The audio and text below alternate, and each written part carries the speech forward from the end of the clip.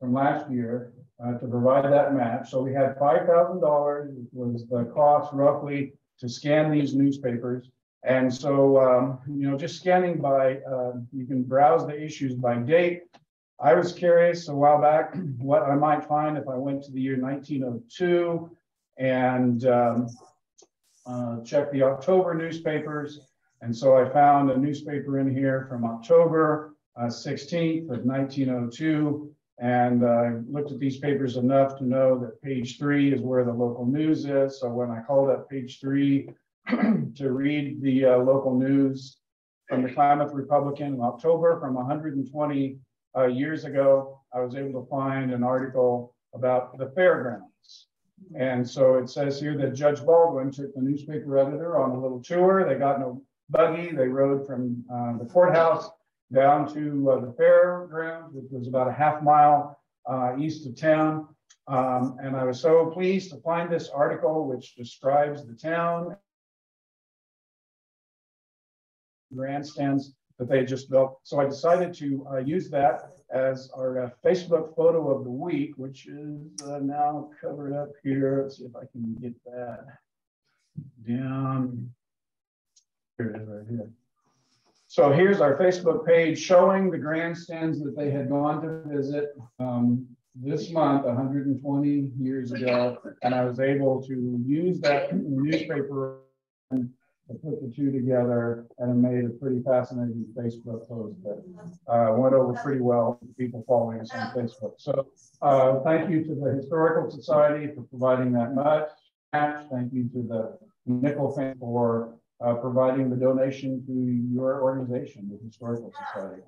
And B and Mary that also helped put the program together on, on uh, Bill Kitt that started the whole thing. Applegate, you just mentioned in the story related to the Applegate Trail. All the Applegates are related to the Applegate Trail. Yeah, there were three brothers that came uh, across the trail back in um, 1846. Uh, so let's see, I think that's all I have to announce. Um, I would like to make an introduction in case you haven't met our new curator. Uh, so sitting here in the plaid shirt there, go ahead and raise your hand high. So yeah, we can see who you are. Welcome, Matt. Grew up in Lakeview and um, uh, went to BYU for his undergraduate degree and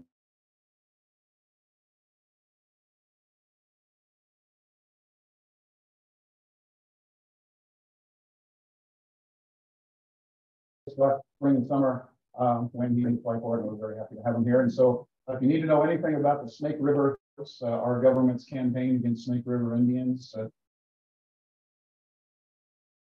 more about the Modoc War and about the uh, Paiute people than I do. So just get me and go right back if you need information about uh, that. He's picking up on a lot of other things very quickly. So, uh, so um, what was that? Our next meeting is you know, the end of the year, and it's going to be on for 12th, which be Sunday afternoon at about 2 o'clock in the afternoon. And we'll, we will install all, all of our new officers, and we have cake. And I remember to tell you we will have cake. So you don't want to well, it's Sunday there, right there, seven, twelve, somewhere in there. The new president is taking this. Gonna tell us here. I'll tell you, it's uh, Sunday. Thirteenth, not the twelfth. Okay, the thirteenth, and there's going to be, so. Okay. I just disappeared. Well, I always keep the cans of ginger ale Oh, handy just in case. Yeah, so um, I wanted to just mention that whenever I give a program in public, and I've given quite a few in just the last week, I've spoken to two Rotary clubs and the Klamath Falls uh, Kiwanis Club. And whenever I give a presentation, I always like to show this slide uh, to uh, make note of the fact that the uh, museum has two nonprofit partners. And um, that would be uh, the Historical Society, of course, and uh, the station. Uh, so those of us that work in the museum are county employees, And uh, we don't have a membership structure for the museum. If people want to be a member of something that supports our museum, we have to join your organization, the Historical Society. And then the Museum Foundation is also working with endowment to support museum operations for decades into the future. And there's at least one foundation board member here, uh, Neil Everline, if you would raise your hand, Neil. Neil is one of several people that serve on uh, that foundation.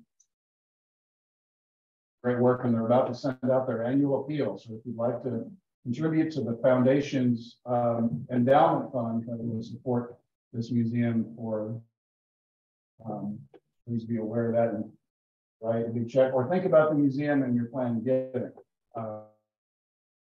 Um, so I guess I'm going to have to enlarge my window here.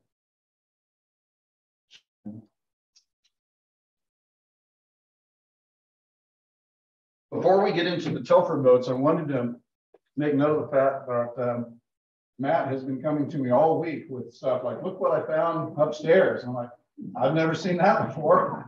And so one of the items that I've never seen before was a couple of photos of Ziegler boats. Uh, Charles Ziegler had uh, the Link River boat operation uh, up at about where Pelican Marina is now, I think. Uh, but we don't know much about Mr. Ziegler. I did a search for him in the newspapers today on our newspaper archive and didn't come up with much. But there's these great photos of him with his car um, actually, Chris Tipton, that looks like about your, not like your car that you got uh, now. I think yours is a little newer than that. So if anybody knows anything about the Ziegler boat operation, we'd love to learn more about that. But we're really here tonight to talk about uh, the Telford Boat Company. And so here's as a letterhead. Uh, can I make that go away? Uh, that green bar there.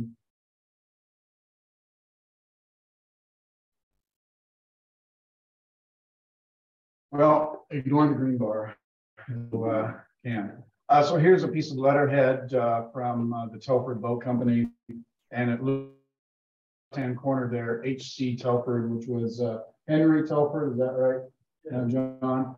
And then right hand uh, corner, Ray Telford. I'm going to spend most of my time, my part of the program tonight, kind of focusing on Ray. Ray's grandson is here, John Poole, and he's sitting in the back row there. We're going to call him up here pretty quick, and uh, he and I are going to just kind of go back and forth and share uh, what we know about the uh, Telford operation. So here's a picture that uh, John gave us a while, and that shows uh, Ray Telford there on the right with uh, his brother, right, Wilbur. And of course, you can tell where they're at, right? They're up at Crater Lake. Yeah, and we'll talk more about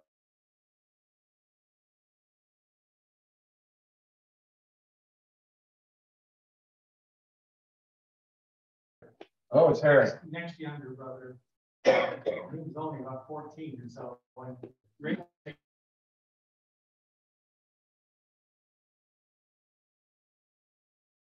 identified in a lot of publications. Okay, so that's where I probably got. This book story. Uh, so, um, Ray Telford, uh, Henry before him, I suppose, had a boat, uh, operation, a boat building operation on the Link River this is a, a, map showing Main Street, the Main Street Bridge across the Link River here. Uh, the Baldwin Hotel is in the next, oh, the Baldwin Hotels are right here. And so, uh, well, this Telford Brothers Garage, I never noticed that until. Yeah, okay. Uh, but the Telford right here, I do believe. So this is Link River here going upstream. And then the Telford building is this one right here. We've got a, uh, I think I'm going to zoom in on that a little bit. Yeah. So uh, this is Main Street again, Conger Avenue going up this way. And so right on this corner here, right on the shoreline, a number of filters and then the boat the construction building. And here's a picture of those buildings with, uh, if this will work as a pointer, this building here um, being that bigger building John, where Yes, and they built living quarters about. oh, they did. AC Upper County lived after nineteen nine. I see. The boat shop was below that. Okay, so down closer to the water level where the shop was. Here's an interior photo, which uh, was labeled as Ray Telford in the boathouse. You don't think that's Ray? No, I don't. It doesn't look like him. He never built plank boats like that. I, I didn't think it was uh, Ray either, but that, does it look like we have the right building? Well, that previous picture was right, but I think this photo is not tied to that. Yeah, that's, that's the Telford boathouse. Um, yeah, the windows don't look right, do they? It's not impossible they had an order for that type of uh, square fence and plank. Boat, but I, I don't. think so. John, you might want to go ahead and move up here to the front row so you'll be closer to the TV so that people uh, watching by Zoom uh, can hear you. I wonder if that um, on the upper right. Yeah, the white got one. later on. Likely. Yeah, okay, Ah. Ottawa. Cladawall.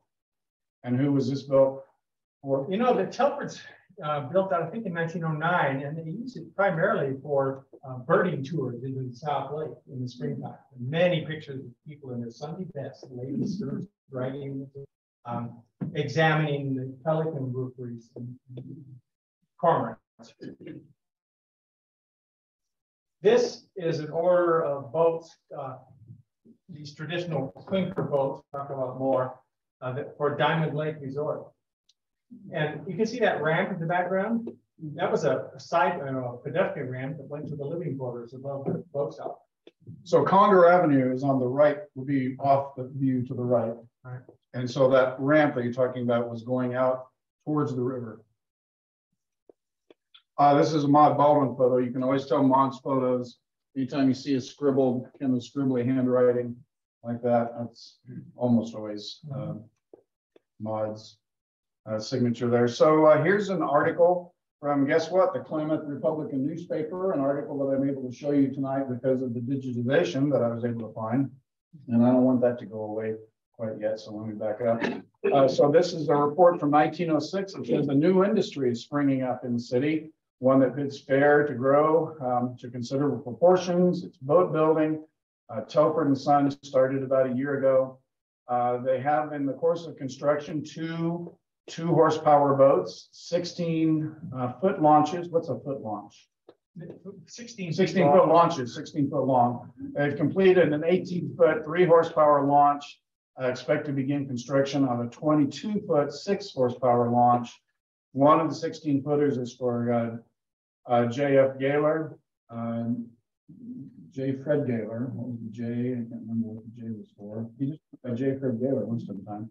And then the 22 footer for uh, Alva Lewis. Um, so this is an interesting article. It talks about how much the boats cost. The cost for a sixteen foot boat, a hundred. And an eighteen footer, two hundred and fifty dollars. There were not a lot of people in town that could afford boats on that scale. Uh, but Mr. Gaylor and uh, Mr. Lewis, um, both. Here's an article from uh, the Evening Herald newspaper in nineteen oh nine, kind of along the same lines. Boat building is a growing industry. And I've got uh, a portion of that. Again, the boat building is off uh, to large proportions. A visit to the Telford and Son shops on the river on Conger Avenue would soon convince the extent of the industry. Uh, Down here, it reports they've constructed 12 gasoline launch ranging in length from 16 to 36 feet. Orders are now on hand far in excess of any year uh, so, um, yeah, they did not plan to make it a full-time business, according to the story in the Republican. Um, but, uh, it's turned into quite an, uh, enterprise. Built, uh, boat built by Telford and Son is giving perfect satisfaction and they put some speedy launches. Talk a little bit more about some of the racing aspects of the boat building. Uh, here's twenty-four now, uh, about uh, Johnson Outboard Motors. And John brought, or what vintage that is. Nineteen twenty-six. Still runs. Horse and a half. at one twenty Conger Avenue. Uh, so here's a picture of the Wocus. Uh, you know where this picture is? Oh, yeah, the, the, uh, lower Klamath Lake before it was all drained. Yeah. And, you know, there were, you know, okay, cuts through the Toonie so you could boat through in few places. So this is July the fourth, nineteen thirty. At Lake of the Woods, in front of this then resort, Lake of the Woods, very near where Camp Low Echo or, or more recently Camp DeBoer is. So more towards the south end of the lake. Yes, the southeast side. And it's significant to me because my grandfather's family photo, I'm pretty sure. Uh, but I think that's my grandfather right there. He had in that boat is, is distinctive with the dual oarlocks. That's a clinker. And no, I, I'm so see how virtually all the other boats are square sided, hard chine, square. Boy, I didn't want to get to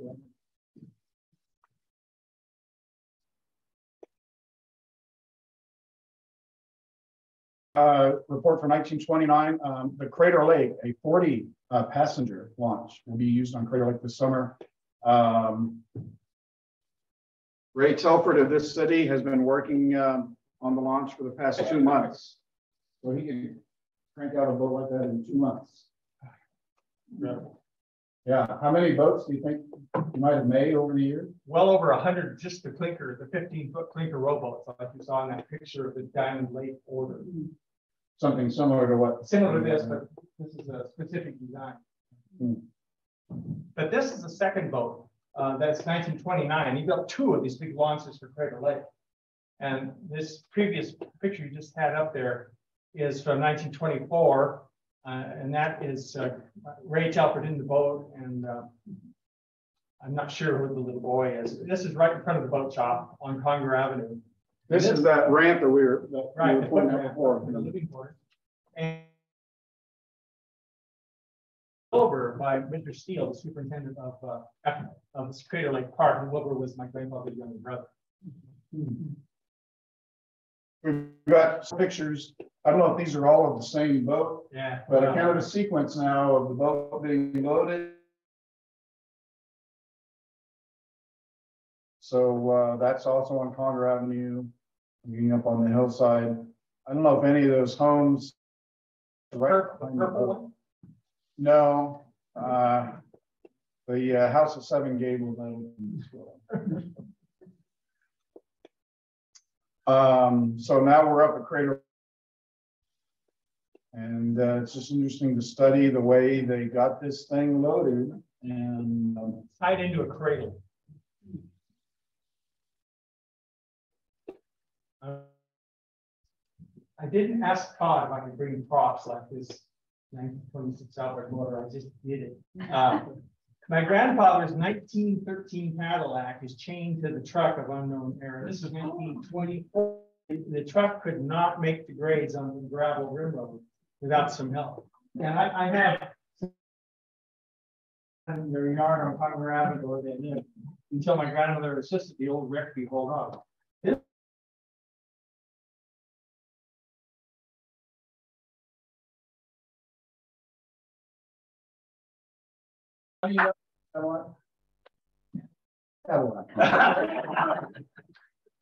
Okay, and the other thing is it, that car, the thirteen Cadillac, was the first American-made production car that had a left target. And not only a self-commensurate, we call it, and, uh, not only that.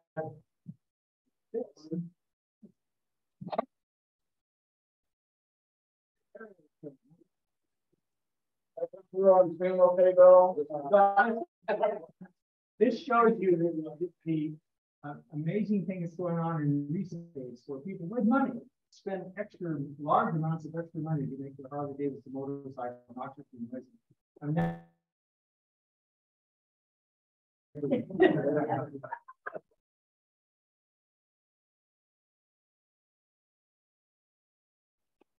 So they uh, took the boat around the east side to uh, the glass. You know where that is. Um, I'm actually going to get out of here for just a second. Uh, website, I mean to stop sharing. What I meant to do was, uh, share.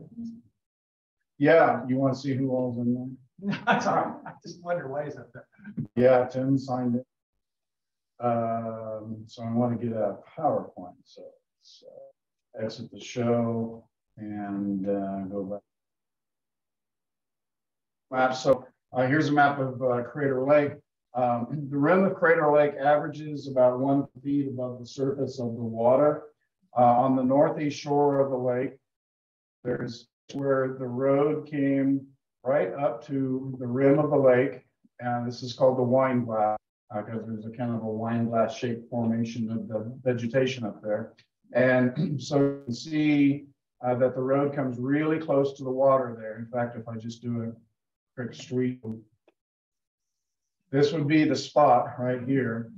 Uh, so you can see there's there's still 100 feet above the water here, but this is the lowest point that you can easily get to on the rim of Crater Lake. Water. So that was the spot uh, where it parked right here in order to uh, lower the boat in. So we'll see how that process worked. Um, this is, I guess, a picture of a guy getting it ready to put on to the slide. And here's probably the point where your heart throb, going over the edge. And then sliding it down the side of the caldera.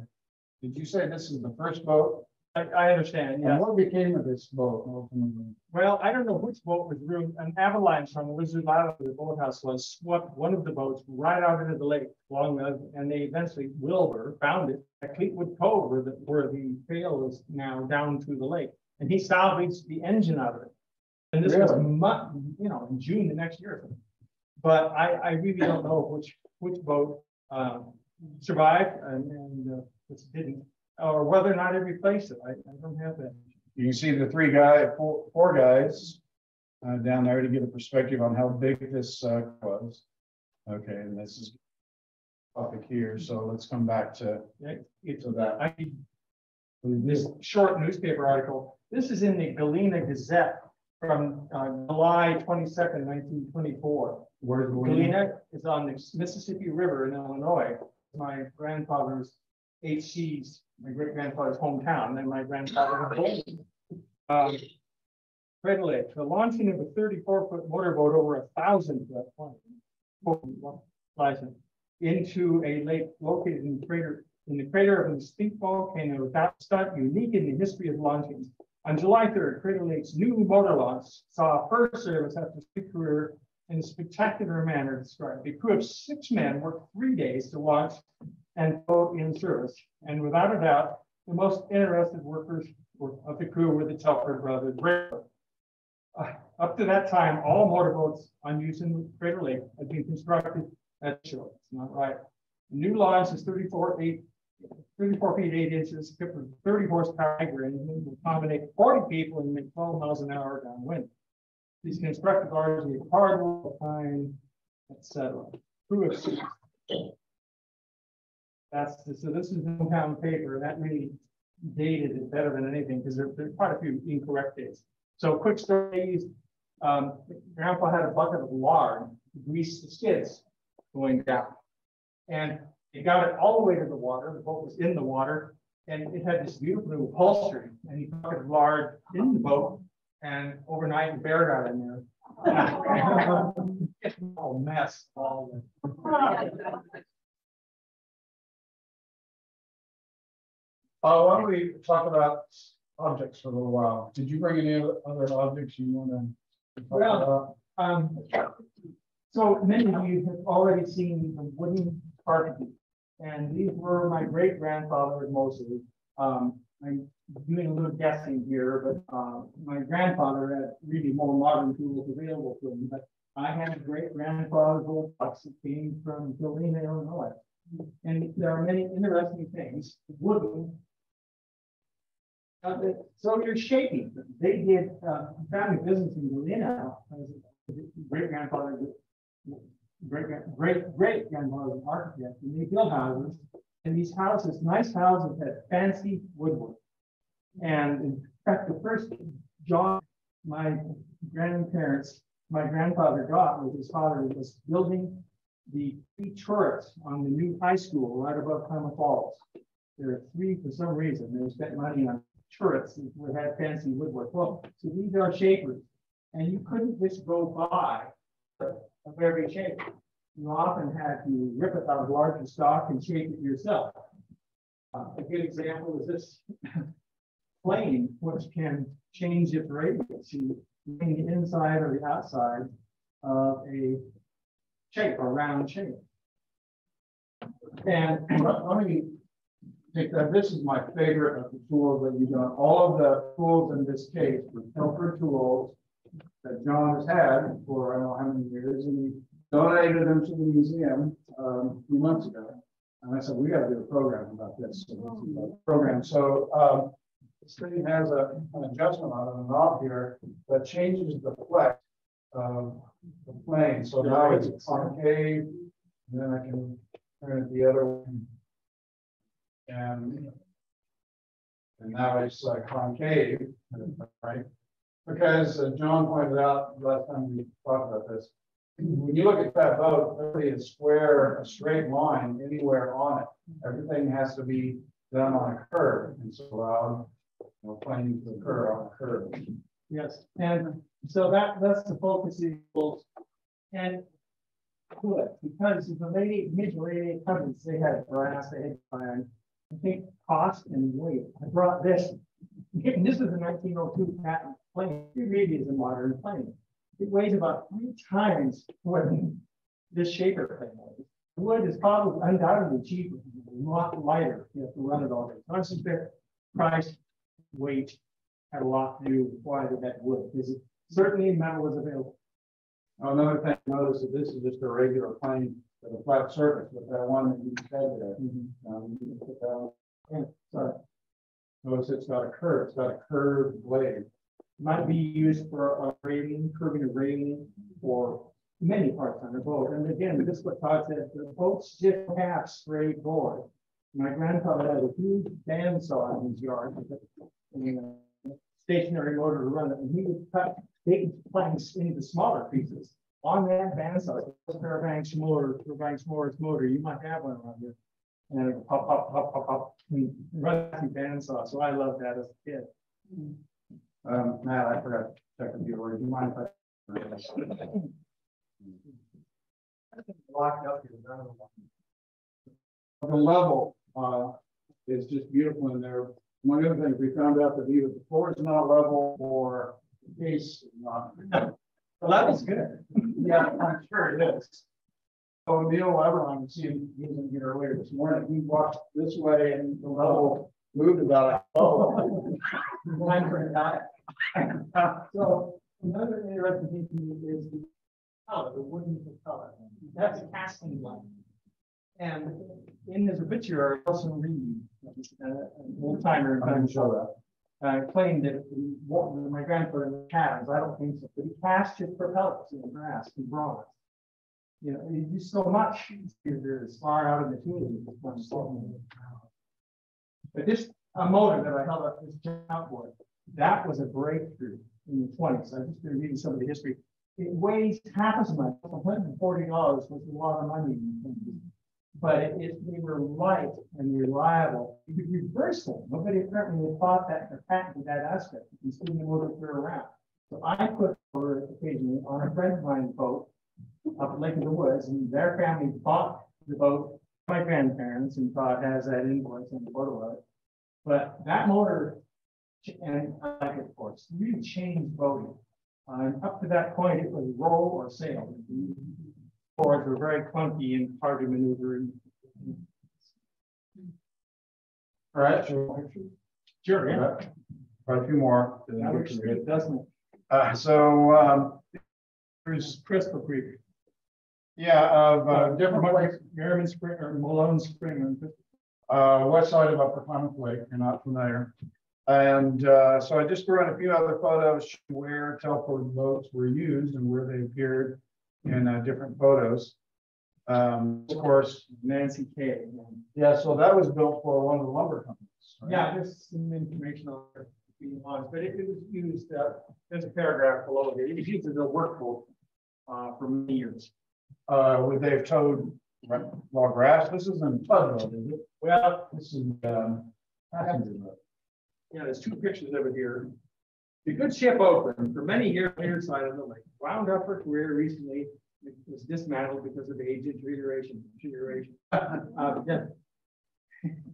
Built by Henry and Ray Telford in nineteen ten for the Pacific Railroad Company. First saw service hauling engineers to and from the work in the rail line along Upper Klamath Road. Pictures taken at Shipping Yard for the old craft been for many years. Following duty with the engineers, the boat was purchased by the Klamath Falls Transportation Company. That adding the deck house, which the engineers scorned. Then Copco, California Power, uh, acquired the boat in nineteen twenty and used it extensively in their operations as we met. Since she was hired from duty some time ago. So it just shows what a quality boat on freshwater can do in terms of long. I know, it just occurred to me, John, as you were reading that, it's something I like to point out whenever I'm talking to audience that. They're not the historical society, they're, you know, like the Kiwanis Club that maybe is not really dialed in on history like some of you guys are. It's important to understand that when, um, when European Americans started moving into this area around here, travel was really difficult. Klamath Basin was isolated, it was one of the last places in Oregon be settled because travel was so difficult here. Um, I mean, there's mountains all over Oregon, but this basin is surrounded by mountains. It gets in during the winter and even during the summer when the roads were good, it was still hard to find a place to go because you've got these steep hillsides with our basin and range topography area out there, basin and range topography. Uh, so you got these steep, steep hillsides that come right down to a lake shore in many cases, and there's not room to put in a road. And so boat travel was vital to the native and digital, and then it was also important to white folks when they started moving. in. So every company, uh, the mail had to be delivered, uh, by boat, uh, during much of the year. a lot of resources in hay production up around Fort Klamath and, and law, um, and that necessitated, and sand, sand, uh, Yeah. dredge of the Wood River. And yes, Doctor? What type of motors were installed in the launches to Crater Lake? I, I think the brand was in Niagara, and I have no idea. So, no, just, and that's the older gasoline. uh, Four Four, four cylinder, cylinder Two cylinder. Picture of, uh, many pictures of launches being run they were, as a teenager driving them. Sir, So your family, any relation to the boat builders in Wales and Great Britain? you know, not that I know of, the Telford's came from Scotland. I, that that might be a, a good point to interject the very significant thing. I pointed out earlier that most of the road saw in that photo, like, it was they were hard chines, big square transom, miserable to look. When you finish your stroke, they just stop. And so this is Telford design, not a design, and Todd has published some, so this goes back to Scandinavian design. It's just a lot more work to go like this, with strips of wood. He would steam oak grid. Bendable and built, boats were built on a frame. I've seen the frame, nothing of it's kit. And he would anchor the planking, which I think is quite fine, to the oak with copper nails. And I thought that's where they got the name clinker, because you pull a handheld the inside the boat and drive the copper nail through the plank, through the uh, rib. Well, no, you can Google it. That name clinker's been around a long time. Lapstrake, it's a more modern, a lapstrake staffing cruiser. But they had efficient pole shapes. The Vikings, they cover big distance and they're marvelous to row. And this is a racing rowboat. I think it's only when he built fifty-four percent sure of that statement, and I'm thirty-four percent sure that this is the one my father raced with. Uh, he wrote. Talked about the sliding sleep, sink, uh, sliding. Yeah. Anyway, so the construction, Whitehall. Whitehall boats uh, built along the same manner were very popular in Great Britain. And uh, I read a report uh, in the uh, Echoes that the pursuing Captain Jack in the lava beds decided they should get across to the lake efficiently. And they called in for um, two Whitehall rowboats. And so I went and looked at a Whitehall rowboat and virtually identical to these Tinker rowboats. Very efficient boat. If you're rowing one all day, you appreciate the sea as much as the Scandinavian tribes did, but efficient shape. There's a lot of work to do. So let's see if I learned this uh, correctly in the last couple of weeks, preparing for this. A clinker boat refers to this, the method of joining the boards together out of the hull of the boat. So instead of having boards that would just be snug up against each other edge and make a smooth uh, hull of the boat, these boards are overlapped a little bit, like lap siding on a house. They're overlapped by what, a half an inch Yeah, or so, which is amazing to me that they could make that work. And so they would put, how would they seal? they would, question, uh, they caulked it with cotton roving. Uh, and the cotton would swell and, and seal the crack. They also painted it with a heavy lead. lead. My grandfather, I have a clinker boat that was with the woods for my whole life. It hangs from the rafters at a Salem business building, who known. Never will be in the water again because I don't have the ambition to restore it. But so he, we paint it every year. We put the old clinker upside down and paint it with a white lead paint.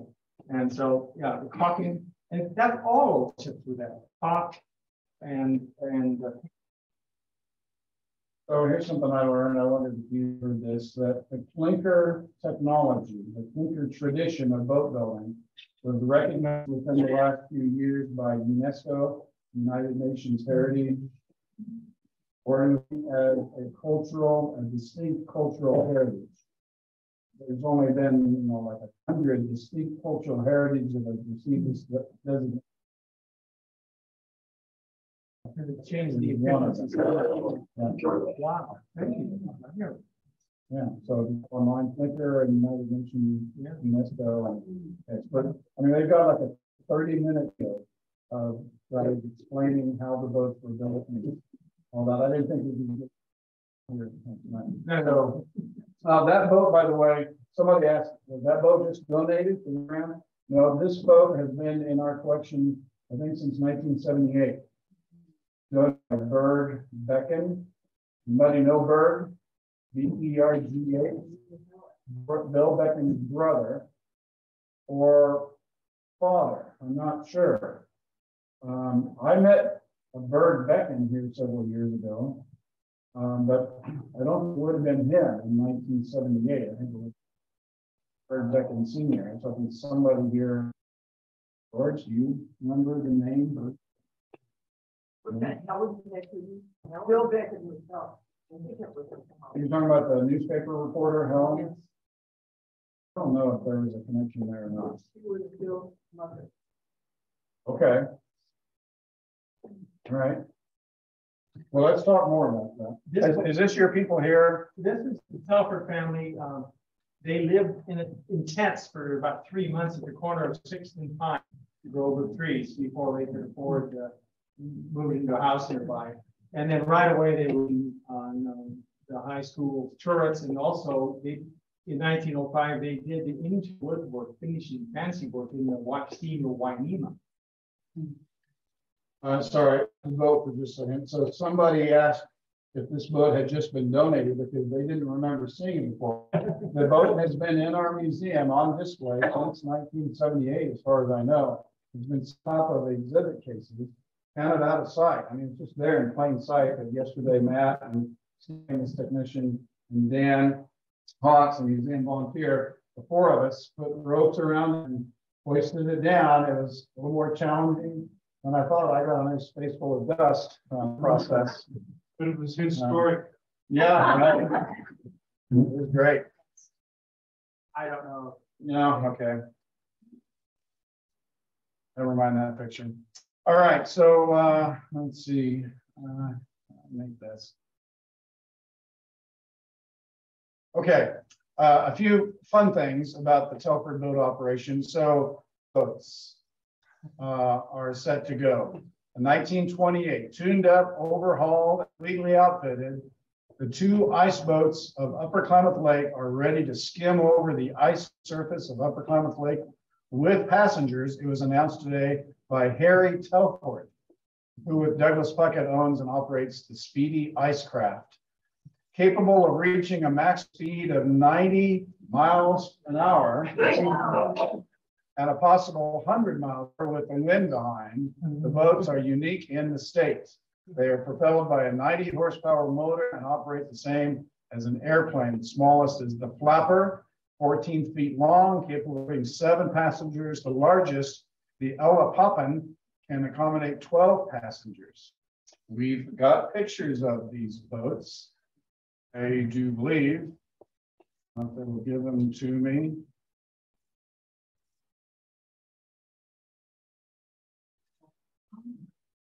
But you know more than I do. What I was told by grandpa was that that's was a World War One bomber air, airplane engine. And they tried to pull hay sleds from Fort Conway at the time of. But you have proof. that uh, Passenger, a real noisy, windy place to ride. I think the wind would just uh, beat you to death. Harry had lots of ideas. You- You read his stuff. There, and hey, I'm vindicated. And it's amazing to me that that would work. Coffee didn't. Yeah. But, you know, to prove it. So, uh, Harry also, remember the auto garage on Main Street that Todd showed on that? Well, Harry rode a bicycle from Klamath Falls to Ontario, Oregon, his little brother Wilbur's bicycle. He couldn't afford the extra hundred dollars to get the railroad to ship a Metz car, which came from Massachusetts all the way to Klamath Falls or Ashland. So he, he rode a bicycle hundred miles in. And uh, to pick up that car, and he was the Metz dealer, twelve Metz. uh, here's a story from the Evening Herald in uh, nineteen eleven reporting that he, uh, Evan R. Reed has um, purchased a thirty-three foot long boat. So it's not just little rowboats like this, rowing, but fairly good sized craft. And uh, Evan Reames would have been one of the few people in town who could have afforded it. Uh, that's the same Reames that donated the land from Golf and Country Club and involved in a number of business enterprises uh, in town. Okay. So this, this is the boat that I can put this outboard on. This, this boat was purchased by the Hodgman Lake of the Woods in nineteen thirty, thirty-one. Uh, here's the it is. receipt for it. Uh, There's a date on the top, but this is around nineteen hundred. Uh, Thirty, 32. thirty, okay. So you can all read that. Rowboat ninety bucks, delivery five dollars, and uh, oars three seventy-five, and a seat back for a buck fifty. Ray Telford had to do. And so I, that now is upside down in their old boathouse, which isn't on the water anymore.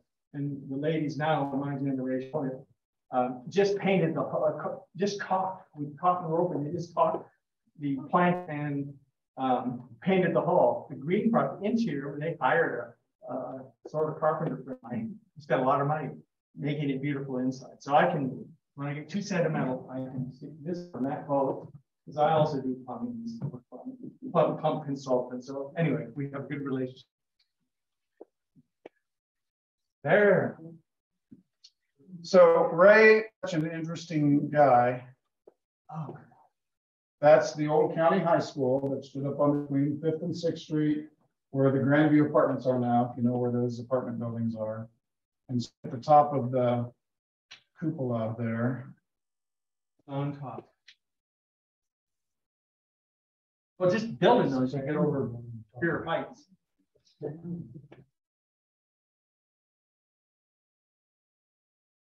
And then, uh, item.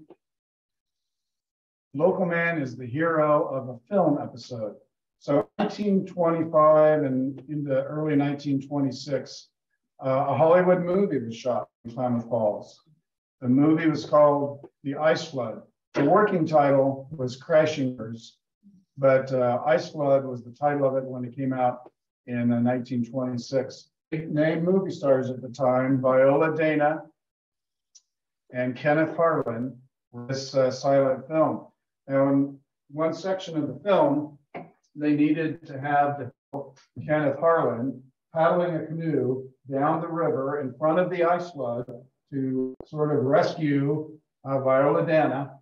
But of course, they're not going to have the movie star Kenneth get out in the river and row a canoe. They needed stuntmen to do that. So the movie company put on stuntmen, but they couldn't handle it either. And so they had to get somebody local, local guy to do it. And so who did they call on? Ray Telford, of course. So I'm going to exit um, the show again here. And hopefully I can pull this off. I'm going to switch inputs to uh, our Blu-ray player. And um, I think I've got this queued up. And go to sleep.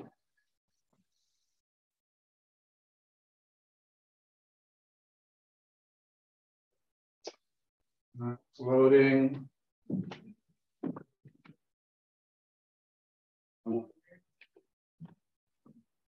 So I think you're going to see is this is Viola Dana, Dana, and her character, she has a little boy, that's her son, and they're getting ready to read the uh, book. Uh, see if it gives the title. Stories from the operas, and I'm going to speed up here a little bit to get to the part. Line in the book that talks about um, her knight would come down the river and be wearing a coat of shining armor. You missed there. Yeah. I want to go ahead and get some. here he is. John's granddad canoeing down the Klamath River Canyon, the volcano. Hmm. We're going to go watch. There he is. Indian canoe. Oh. Are, Yeah, it's we, not a Telford rowboat. Indian canoe. sorry. Uh, It gets um, more dramatic.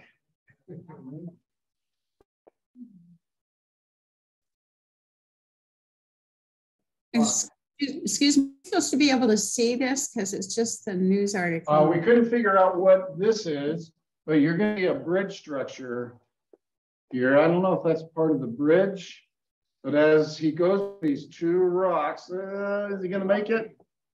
Ah. Notice the bridge structure is behind there, so we won't quite have that figured out. Anyway, so um, he makes it all the way down the river and uh, up here. Okay, so Ray's done. That was his uh, two minutes of in the silent movie in uh, 1926. Wow. Great job.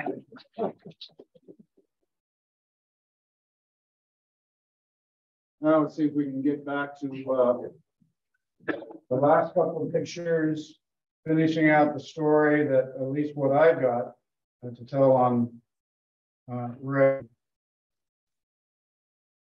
We actually showed this film at the Klamath County Library about, do you remember the date on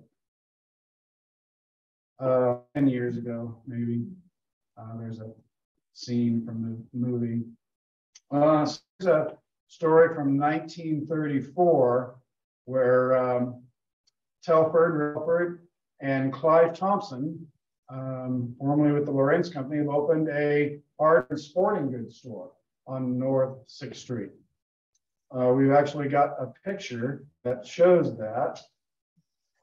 This is a picture of the um, uh, First National Bank building at Sixth and Main.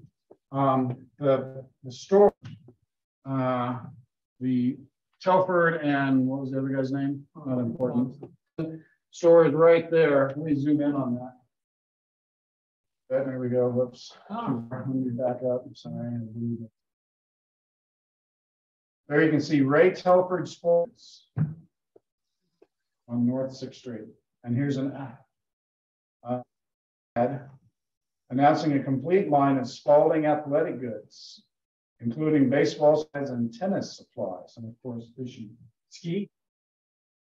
Yeah, right. Uh, so here's a uh, fantastic picture of Ray. This appeared in the newspaper, although I couldn't find it today uh, in the paper, but we've got a beautiful print of it. And when that came time for Ray to pass in nineteen sixty-eight, there's just this brief obituary here, but this time he was living in Salem, I guess. huh? Right. Moved with family business ventures, my family.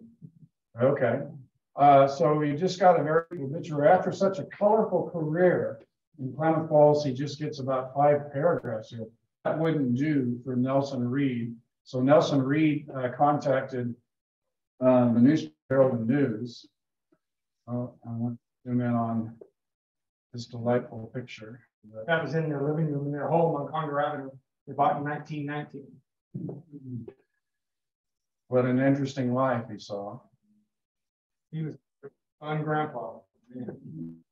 So about four days later, this story appeared in the newspaper um, with uh, comments from Reed, um, who's identified here as a Klamath City councilman, a businessman here in town, uh, big on local history.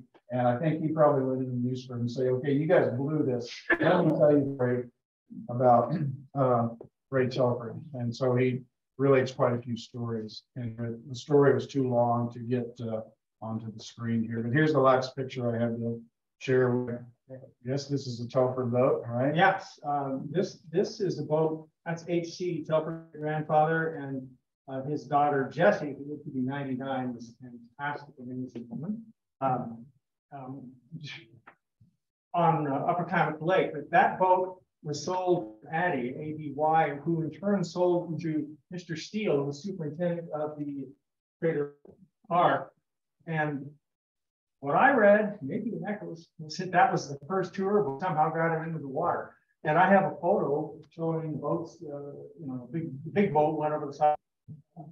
And rowboats and this boat, all in the same photo on water. like it was. So I'm speculating to some degree there, but I think that, uh, the Echoes articles, that this is probably the very sleek little launch and small enough to uh, send it down the snow slider or even maybe switch back it down the uh, Cleetwood Cove Trail. But Well, in this picture, they're on Lake Ewauna. right? Isn't yeah, that I- back in the background? is that, okay, I see the Leaky one, you're right. Yeah. Um, but if this boat belonged to Able Lady, then that's another. Probably will do a whole program on Able Lady. I'll, I'll try to get you that text. I don't remember where I read. I've been, I've been looking at things. Just quickly, my great aunt Jessie taught country school at Lost River and Parker, Parker, um, Spencer Creek. You know, the old uh, route, the old, what is now the Highway sixty-six route to Ashland. Um, a one-room schoolhouse and wrote beautifully on Lost River. And one of her jobs was to uh, meet, go to the home of every student. Uh, you know, and talk to them about their kid and, and commute by boat often from Lost River to the family home in Klamath Falls. And the brothers, three brother, older brothers who all doted on her, sure, would often transport her. Then um, HC died of consumption, tuberculosis, at the age of 60 in 2015, uh, 19. And instead of going to Stanford, which she'd already been accepted to, she stayed home to help. Uh, but she also, I read a little story from um, another relative, um, Tim's um, cousin, who met one of the second cousin recently. She went to Albany College for a couple of years, and as a freshman, she was on their debate team, won the state competition up in Portland. And, and the professors uh, voted her to be head of the debate team for the next year. I mean, this is a freshman little girl, quite amazing. Uh, they're gonna give us the hook here in a minute, uh, John. I've shown my last picture. What else? did you Oh, really? I, I think I, I've made enough noise. Um, It's just a lot of things near and dear, and I've learned more tonight, uh, from Todd's research. Uh, it's, it's been really fun. It was fun growing up with grandpa. He was the one I spent most of my time with. He knew just, just how much rope to give a kid, climbing trees, building forts and the river, to keep them alive and so on. So yeah, it's- it's really warms my heart. This is an item that donated. That, but that's a pocket tape. What's up, twenty-four? And it's, it's so beautifully made, so that was HC. Todd, thank you for a wonderful job. putting this together. Well, any questions? We typically just wanted to put. um, Maureen, if not, let me just conclude with a couple remarks then, you know, it's, uh, it's such a fun job to have, it's a very rewarding uh, place to work. This is one of my favorite chapters, you know, the boating history of the basin. Uh, to have this boat that's been sitting up on top of an exhibit case that honestly, I never paid that much attention to. G, our previous curator that many of you will remember, he pointed it out to me and said, that's an important boat up there, but we never really talked about it much. But what a privilege it was to get that boat down yesterday and make it available for you all to see. I can have these tools and to have a grandson here who has these stories to hand on. This is really what we're about in this business that we do here. I'm grateful to everybody that tuned in. There are members of the Telford family that are attending by Zoom.